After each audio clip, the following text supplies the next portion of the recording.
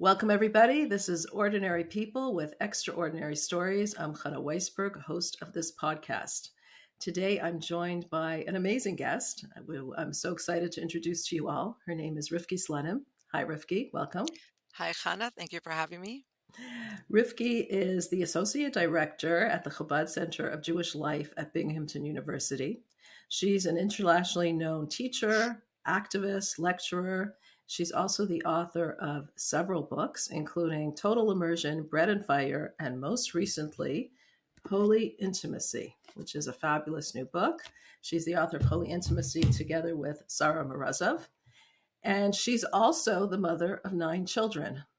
Rivki, I'm getting like dizzy just saying all that. How do you manage to juggle all that? Well, look who's talking. so, uh, you just do it. You just do what you have to do. You just do you just do what you have to do. I feel very privileged and I'm very motivated by by the work I do. And I just feel very fortunate to have the opportunity to do what I do. And I thank God for every day that I have. Amazing. Wow, that's beautiful. So so tell us a little about you know your your reputation precedes you. Um, you're someone who's known as an advocate and an activist for all women's issues.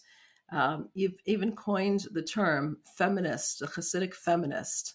So you've been called that, a Hasidic feminist. Can you tell us, first of all, what does a Hasidic feminist mean? What What is that to you?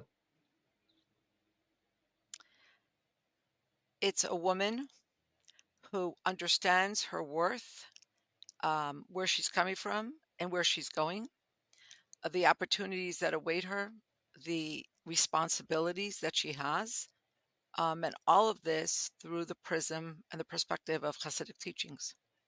Wow. So is it uh, is it like a, a, a, contradiction in terms to say that a person could be a feminist while being a Torah observant Hasidic woman? You know, feminism is not a monolith. Uh, there are so many iterations, there are so many varieties, there have been so many permutations and cycles of feminism. But at its core, feminism is about um, fighting the lie, the canard that uh, women are somehow less worthy than men.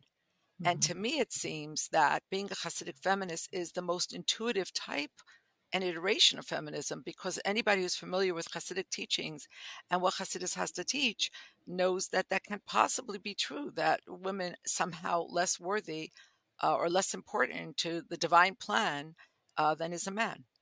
So to me, it's it's so natural um, and comfortable and intuitive. And I think people just get very scared of the word feminism in certain communities. And people to tell me when I was younger, none of your kids are going to be able to find shidduchim. They're not going to be able to find people to marry them. You're you're putting this terrible stigma on your family by by uh, aligning yourself with feminism or something like that. Um, and then from the other side, there are people like, "Who gives you the right to call yourself a feminist? You're obser- you're an observant Jew." Um, but I've just decided that that's what I am and that's who I am, and to, all the detractors are just going to have to deal with it.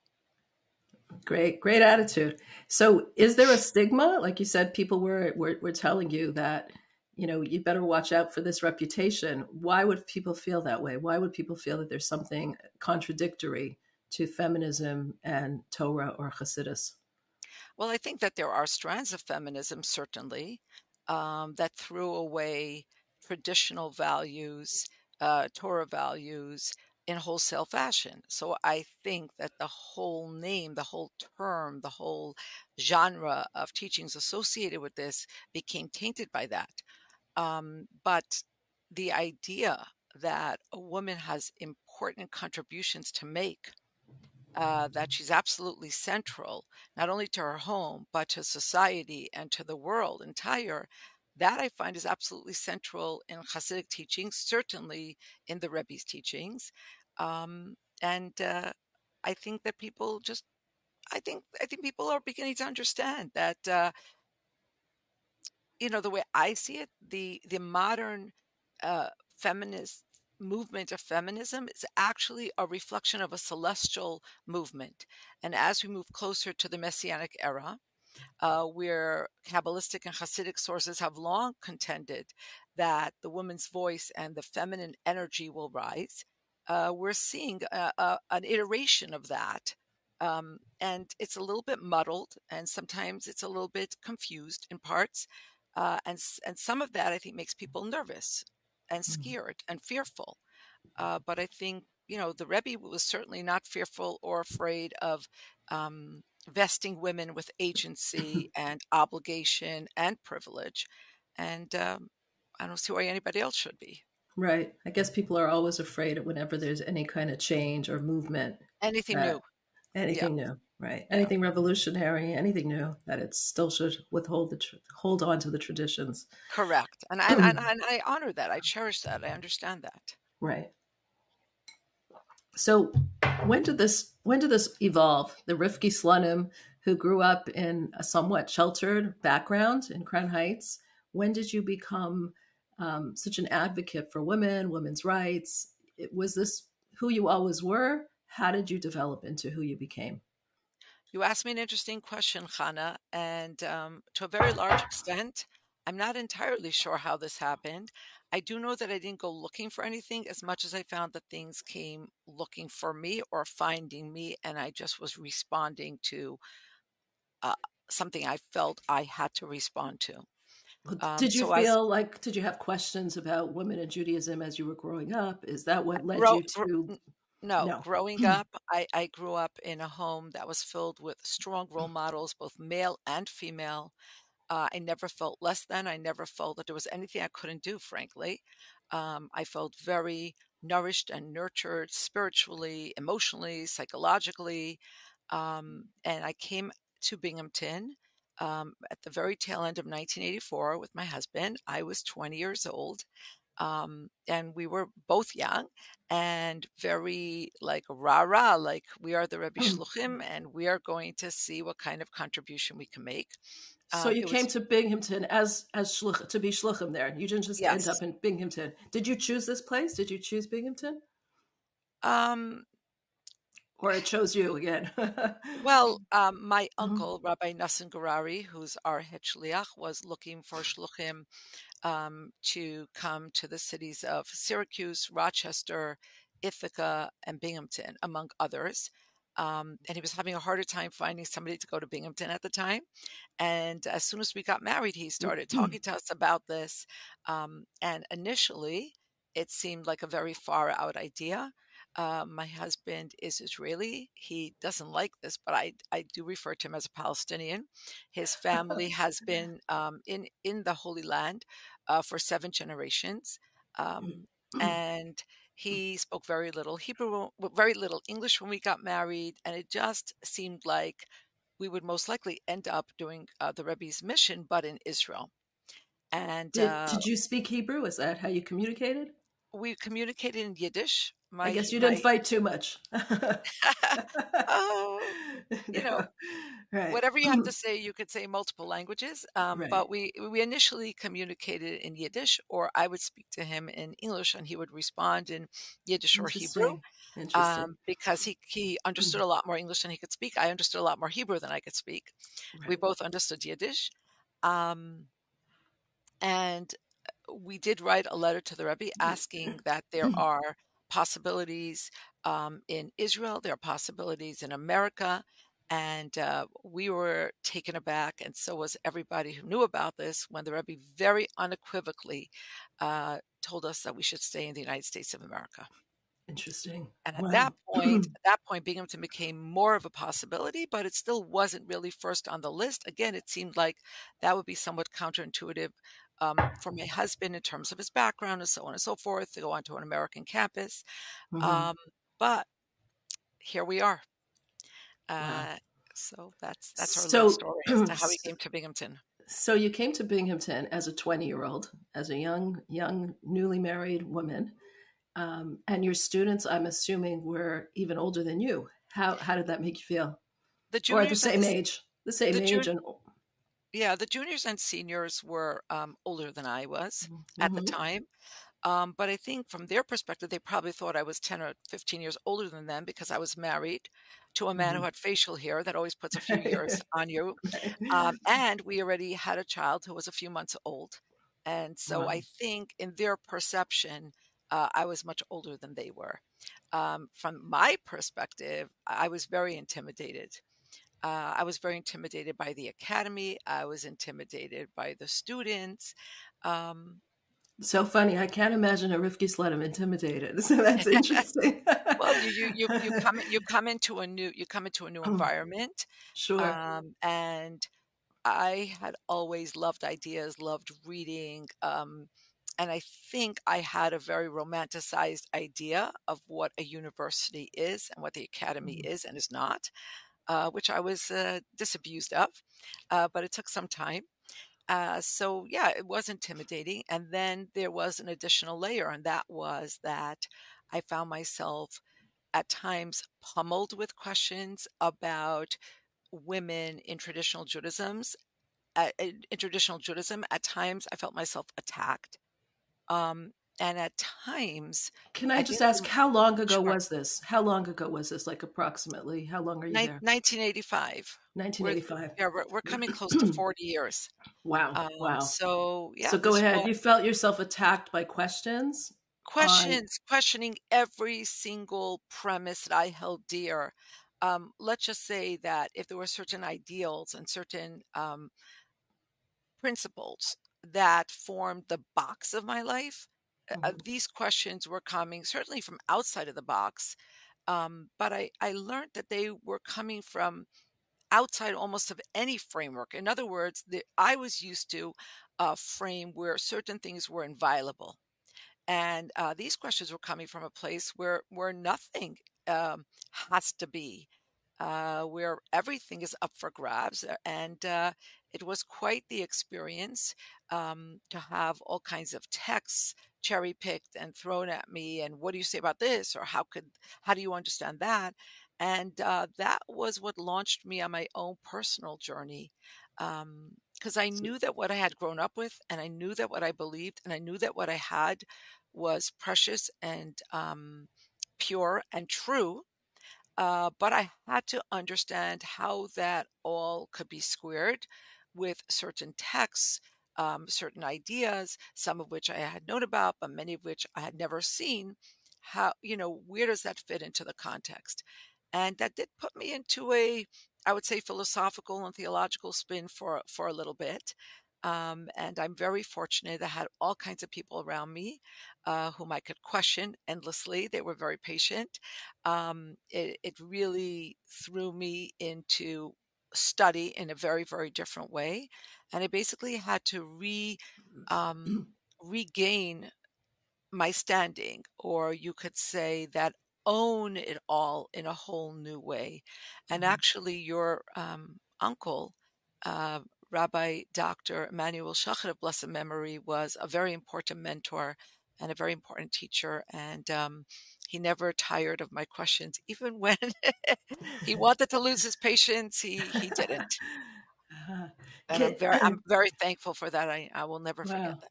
That's beautiful. kindness. Wow, that's nice to hear. Uh, can you give us an example, some examples of what kind of questions you were feeling you were fielding at the time that you felt were difficult to answer and that you now understand differently? Um, I mean, Mhm. I, I I don't even know where to begin. Right, Uh, there's but so but but um, you know, there were some kind of abrasive, negative uh, statements about women's Torah study. Mhm. Uh, that was a big thing, and that has to be understood in context. Has to be understood in the context of where it's found in the Talmud. Uh, one has to understand what you know how the Talmud is written and how it's not. Let's just say it's not a woke tract, um, and sometimes I feel like it's an equal opportunity offender. And, you know, when you understand that, you don't take everything as personal. That's a cute as phrase, critical. equal opportunity offender. I like that one. Uh, you know, you, you you mean it says it very straight, very, very to the point. yeah, and there are abrasive uh, statements made about men and women and kings and slaves and, and Mhm. everybody. So like Mhm. that that's one. The mhm. other is to understand how things, how the Torah and how Jewish law responds to sociological changes and Mhm. so on and so forth. Um, but you know, I was uh, breastfeeding my child at the time, and uh, I had young women talking to me about how, you know, breasts was something that women uh, came to grow through evolutionary process because society foisted the task of feeding the young upon women and so on and so forth and you know when i Mhm. look back at a younger iteration of myself uh, there were times where i would spend two or three nights a week up all night you know uh, f- trying to respond to these questions um, and today i would say to somebody who had these questions i'll talk to you in five or ten or 15 years because I because I understand so much Mhm. more that some things you just have to come to through life experience, you know, uh, like the Hebrew expression "Masha yasa hazman lo yasa hasechel." My mother Uh, always says that, yeah. yeah. Right. So so so there there are things that one needs to learn from books, Right. and there are many many things that one can only learn from life uh, from experience and from modeling from what's modeled for you and so i i try to be there for my students today and i've tried throughout throughout the years to just model my truth i i've always been drawn to truth and realness so Mhm. i just try to be real and true and try to do my best Beautiful. Do you and think that do you think the questions have changed over the years? Like, have you seen a difference in that, or the attitudes have changed? yes and yes everything has changed Right. And how do you, in what way, and how do you respond to that? in almost Mhm. all ways. Um, I would well, there are there are a number of things. Um, when I came onto campus, students were much more engaged with causes. So feminism was just one of many causes, but people were engaged in causes. Over the years, that kind of waned. It didn't take very long for it to wane, and it was more about getting in and getting out with your degree and going to next, whatever that next might be. Mhm. But there was none of this dawdling in, eh, you know, at a university for more than four years because you were trying to get this or that or that done. Like parents won't stand for that today, and kids are not that interested. Mhm. Um, so that that's one change. Um, another change is that maybe at, at you know at a certain point in, in feminine, it's it's almost it's almost comical because sometimes uh, some of my closest alumni who I know have gone through medical school, they've gone through law school, they've they whatever it is they've achieved, and then they'll tell me, well, you know, I just decided I really didn't want to work. I want to be home with my kids. And I'm like, wait, really? Like Yeah. after all of that training? No, I think you should do something in your field. And it's kind of like the roles, and they're like, Reverse, wait, right? yeah. Yeah. And I'm like, no, no, no, I don't think you should give up motherhood. yeah, I Mhm. think you should have another two kids. But I also think you should be practicing in your field. I do Mhm. believe that. Um, so I think women, in a certain sense, have more latitude today because they don't have to prove as much anymore. We know a woman could get through medical school and law school. We know a woman could be a neurosurgeon. We know a woman could be anything she wants to be. It's kind of Mhm. a shame that America doesn't have uh, you know, a woman as president yet. Where we're Mhm. behind many countries, and that that's that's a blight on our record as far as I'm concerned. Mhm. Um, but if a woman doesn't want to do that, she doesn't have to feel compelled in the same way that women, I think, maybe in the 80s felt. Right. So that so Wow. that's been interesting. Um, but And I but no, but mm, nobody's attacking breastfeeding anymore in the same mhm. way. And even in this woke world, you know, I remember very, very vividly um, when we felt like we had made it. We had this like big facility, and now we had two bathrooms, and we put up these signs that said men and women. And I remember getting attacked for women, W O M E N, uh, by a young woman who felt it should be W O M Y N. There shouldn't be the word men in the word women. Oh my gosh. Wow. Well, Wow. no, that was that, that was a Mm, real mhm. thing, you know, Right. like history. Well, where's her story? Why Mhm. Mhm. history? And so on and so forth. So we're not living in that um, in that zealousness in the same way Mhm. Mhm. Definitely. So because y we take many things for granted. I mean, right. and and we and we have to be cognizant and I think appreciative of the women who fought for so much we take for granted Right. And at the same time, I feel somewhat ironically and paradoxically that there are so many ways in which women are still not taken seriously enough. And that I would say the secular world is actually lagging behind the Hasidic world, as crazy mm-hmm. as that mm-hmm. sounds. Because you feel that the Hasidic world takes women more seriously or more values them more?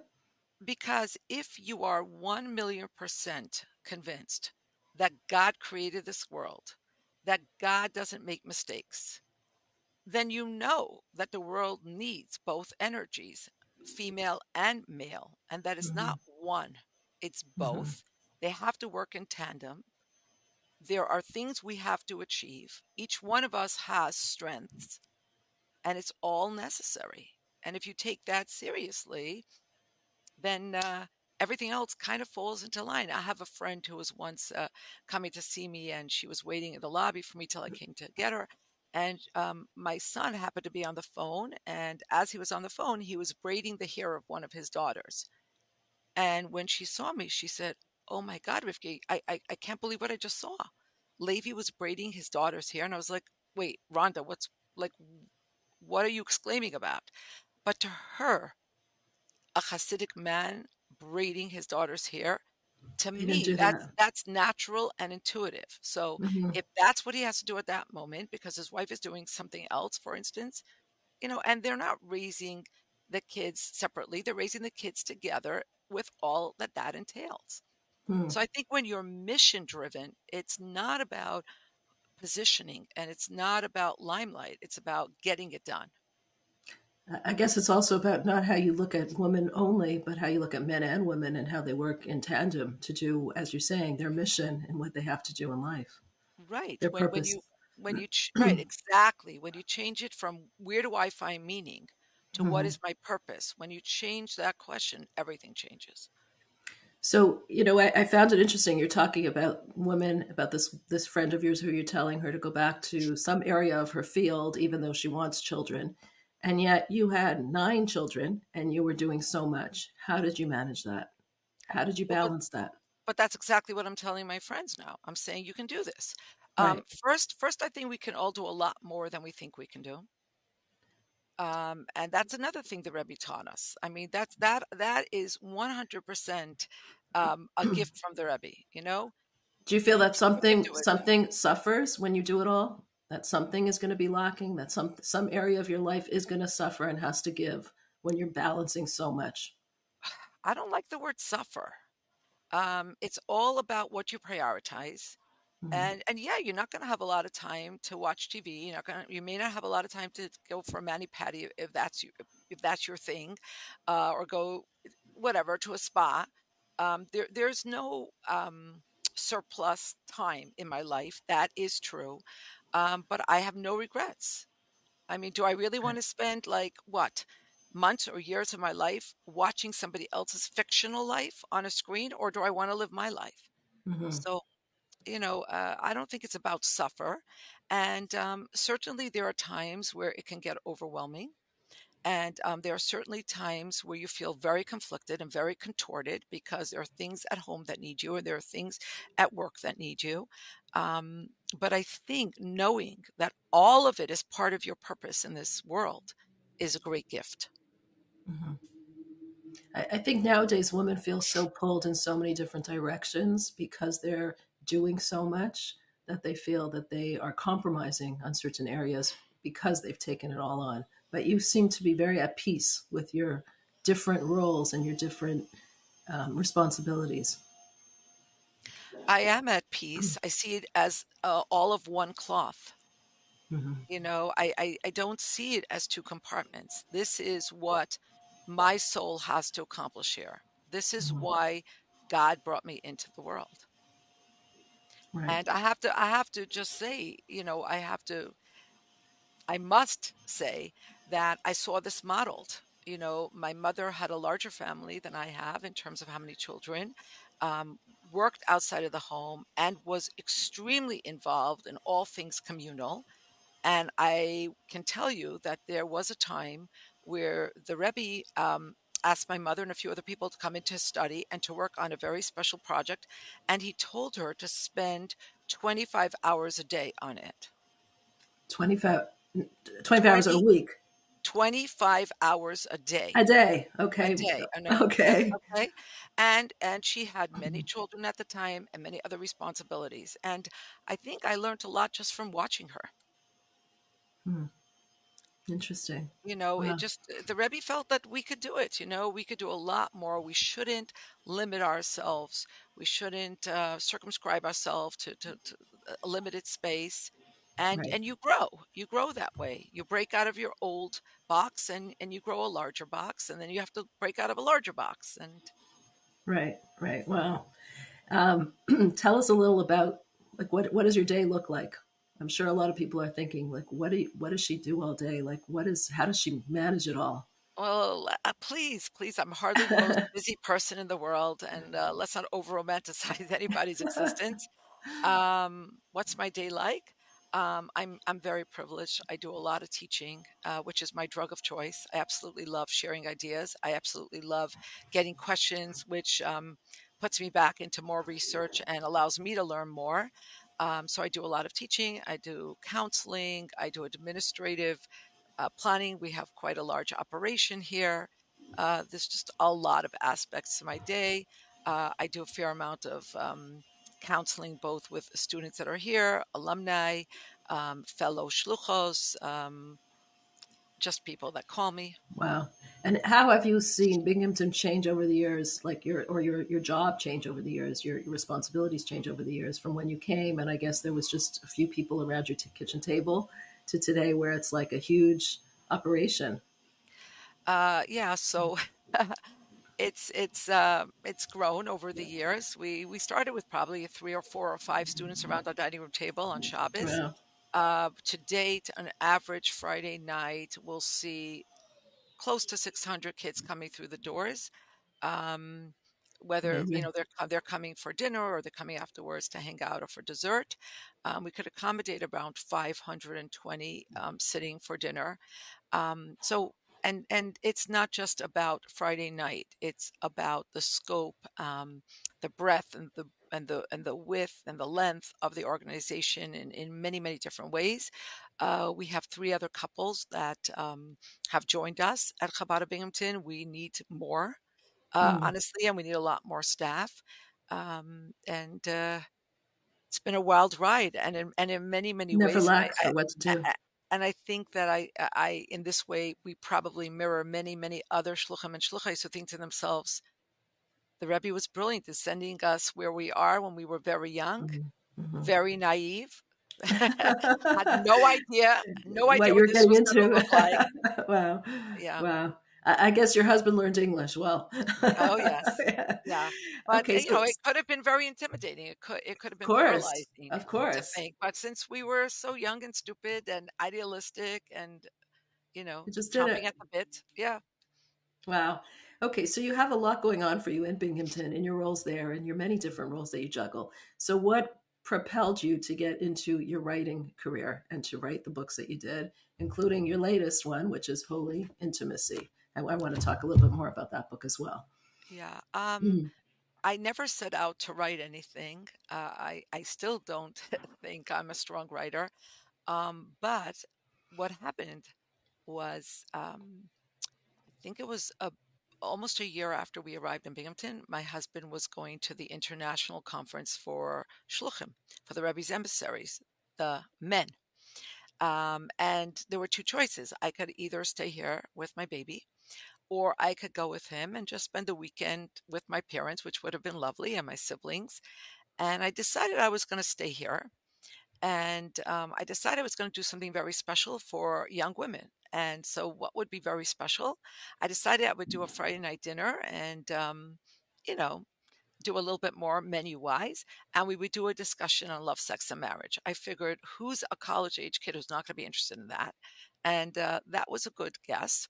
Um, and the evening uh, went very well. Um, and I guess uh, a colleague of mine heard about it in a different city, and uh, a few months later, she asked me if I could come speak there, and I was like, I don't know, I, you know, um, but I did that, and it kind of snowballed, snowballed, and uh, I started speaking um, on the topic of mikvah, the institution, and um, you know, family purity, as the mitzvah is called.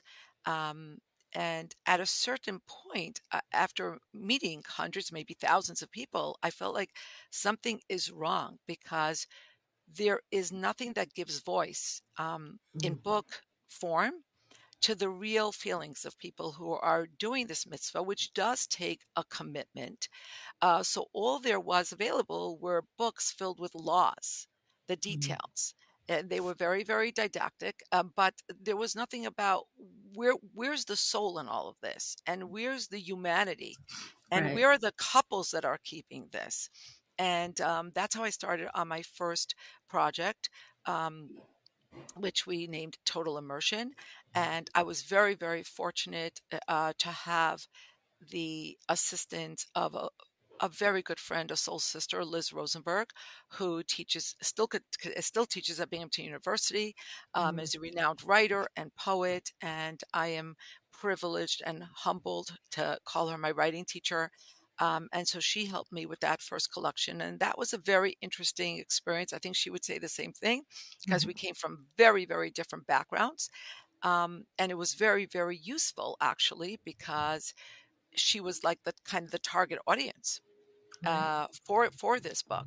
Um, so that's how the first uh, the first project happened. Um, some years later, I started to feel the same way about Jewish women in Jewish law in life. Um, again, there was a lot of discussion about what halacha, what Jewish law says about this, what Jewish law says about that, how to frame and give context to Talmudic or Mishnaic teachings, and so on and so forth. But I didn't feel that there was a book um, that really gave voice to an eclectic group of women and how they were relating to God in their everyday. And mm-hmm. uh, and so again, uh, Liz and I worked together on uh, a book we called Bread and Fire Jewish Women Find God in the Everyday. Mm-hmm. Um, so you would and, think that all your bases are covered now. You have women in, in, in life, you have the, special mitzvah of mikvah. Then how how did holy holy uh, holy intimacy come about? Uh, so, in the process of speaking publicly on the subject of family purity, I found myself becoming the address for a lot of people who are calling me with issues having to do with sexual intimacy, um, more detailed uh, questions uh, that they felt uncomfortable asking. And some of them actually called me and did not introduce themselves, and that's mm-hmm. fine, you know. Mm-hmm. Um, and with time, it became very apparent that I was answering uh, questions that I had been fielding on campus for many, many years. And now I had women from much more traditional backgrounds uh, with the same questions. And it also became clear that, again, there was no book in the English language that spoke to this in a real, visceral way. Hmm. Um, and people were turning to other sources, namely the internet, and see what can I find online. Uh, that's very convenient. I could do this in the privacy of my bed in my bedroom, um, and I could surf the net, and I could get on blogs and chats and see what other people are saying. And um, there's a lot of good information out there, and there's a lot of misinformation out there. And um, at the same time, my first cousin and close friend, we had always been very close, Sarah Morozow and I, um, she started telling me, you know, she is uh, she she is, I would say, the dean of all uh, kala teachers, all the women who prepare brides for marriage within the Chabad community. Um, and and she would call me. We were we were comparing notes, and we are like, we're dealing with the same issues. Um, and it was during COVID when we and she said to me, you know, you need to do like a Facebook Live, and I was like, I'm not on Facebook. I'm not on social media, and I don't really think I'm getting in there that space right now. Um, but what about if we do a book together, hmm. which we did, and so Holy what, Intimacy is the is the result. Wow.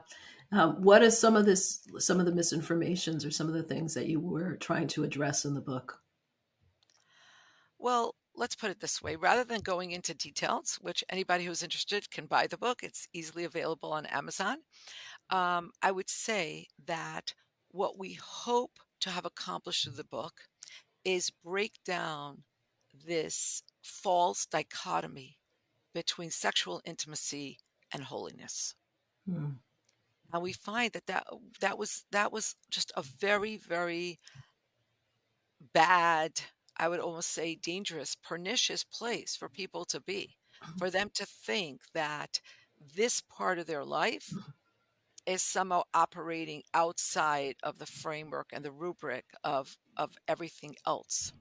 Mm-hmm. Um, in other words, it's one thing for a woman to commit to go to the mikveh every month and to um, commit to the requisite abstinence that marks that cycle of two weeks during her period and for a week after, abstaining, and then going to the mikvah and and being together with her husband sexually. It's one thing to commit to that. It's another to understand the holiness of intimacy and the important place of pleasure and the way in which this is a gift from God to us and the mm-hmm. way in which it's part of a larger framework so that I think is the most important contribution. I guess that's why you called the book Holy Intimacy. You're bringing that holiness into the into intimacy. So if you could encapsulate the message that you'd want young people to know about intimacy, what would you say? One thing I could say is that um, imagine if intimacy is a gem, it needs to it needs a good setting it needs to be set properly so you can appreciate the gem and you could showcase the beauty of the gem. And what does that mean? that means that there's nothing casual about intimacy. It is a very precious gem. But in order for it to be appreciated, it needs a certain setting, it needs a certain framework, it needs a certain contour. Otherwise, you lose the preciousness you lose the depth, you lose the colors, you lose the cuts. Wow. And it's it's it's you know, it's today even for young people who've grown up in very very traditional settings and backgrounds, the whole world is at your fingertips and you're getting so many different messages about what could be fun and exciting to try and it's sometimes hard to remember that there are things in life that need to be treated in a very specific way in order for them to be not only mm. efficacious but nourishing and and and a fountain of riches for you and wow. if you don't if you don't hmm. do that you're squandering something very precious perhaps the most precious gift that god has given us so Beautiful. the book is the book is not just so the so the, so the book really the thesis of the book is you can't separate sexual intimacy from emotional intimacy, which is found in marital intimacy, which is found in a larger framework of why do we get married, and so on and so forth. Right. So it's wow. layers and layers. It's layering and mm, mm. contextualizing and framing this aspect of our life. Beautiful. And and all without using platitudes and euphemisms. It's very practical. It's it's it's filled with very deep and beautiful ideas and at the same time very down to earth attentiveness to the to the quotidian, to the everyday. You know, we, we don't try to kind of make believe everybody's life is perfect. And, and we talk about difficulty and dysfunction and uh, and so on and so forth. What what kind of feedback have you been getting from your book?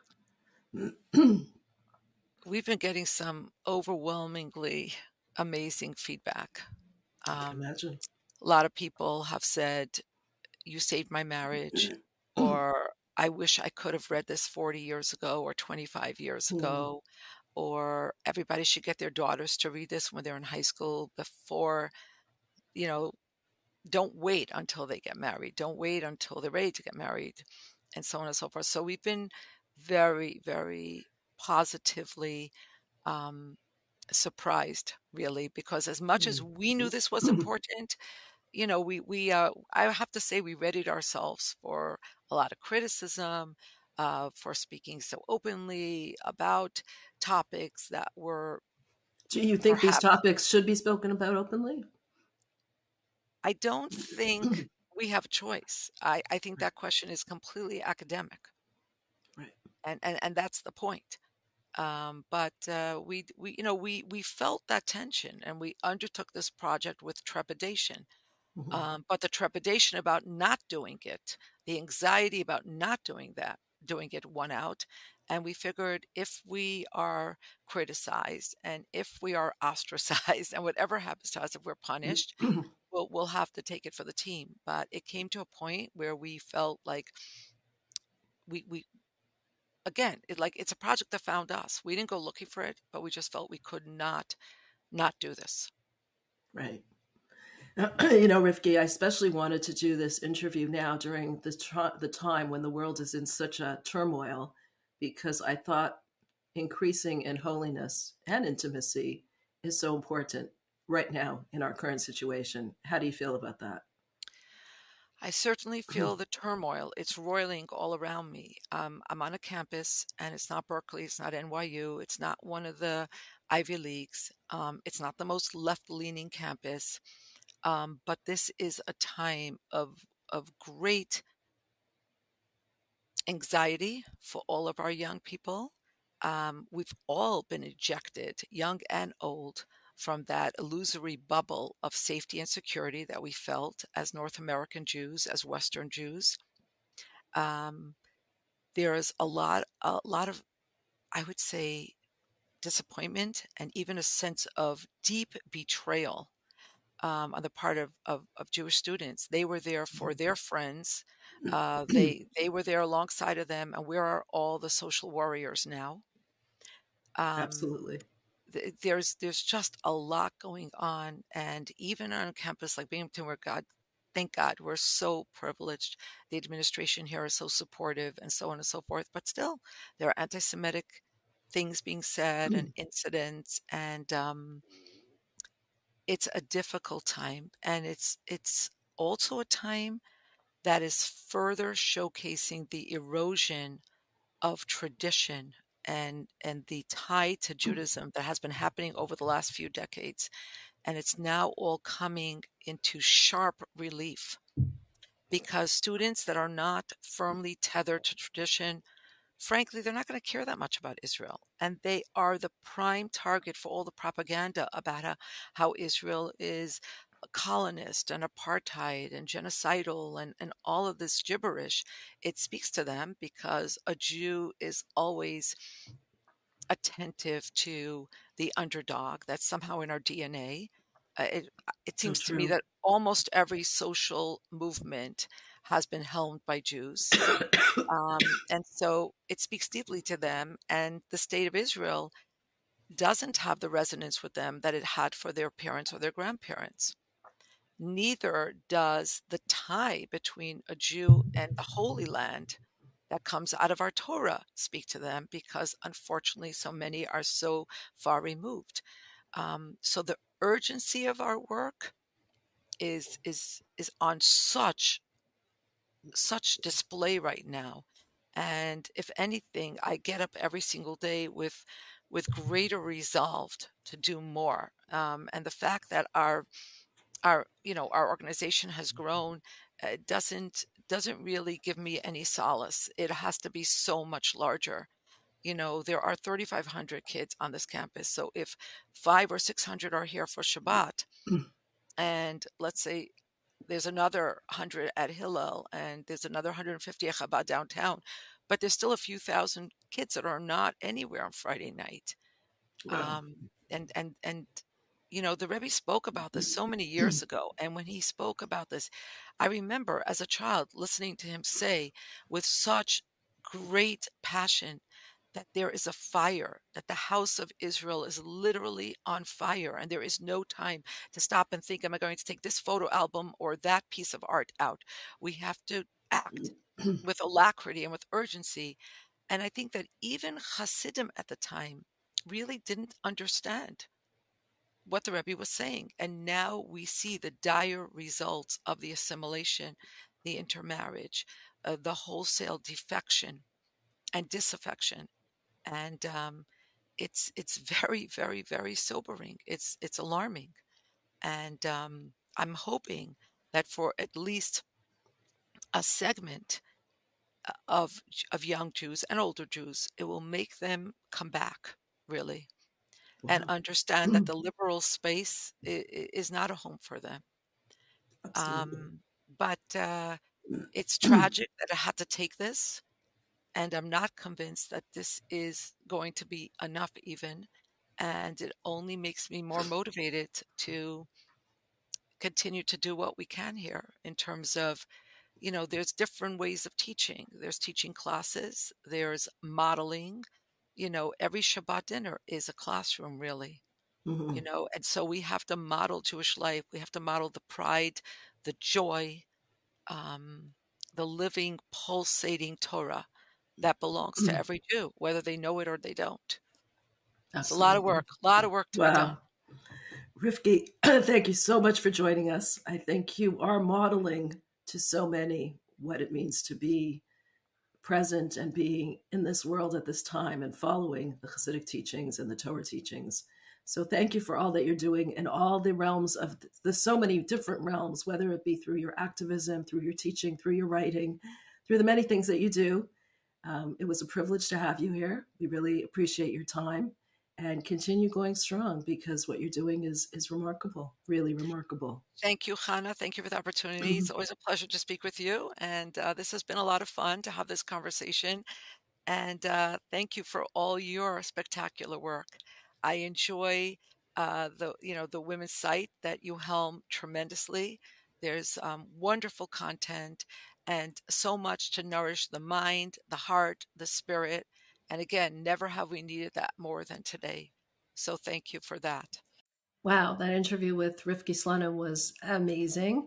I think what most touched me about the interview was her description of how she came to Binghamton as a young girl, 20 years old, and some of her students were even older than her.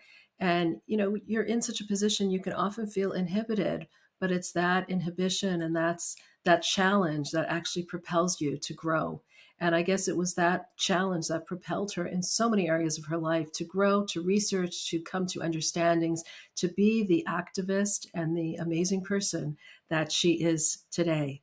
So, thank you for watching. If you enjoyed watching this podcast, uh, you can get these podcasts delivered to your inbox by subscribing to chabad.org forward slash extraordinary. We are also streaming on all podcast streaming platforms, so you can catch us there if you're driving in your car or you're doing exercise or whatever. Um, also, please make sure to leave us some feedback. We really love to hear from you. Thank you again for joining Ordinary People with Extraordinary Stories.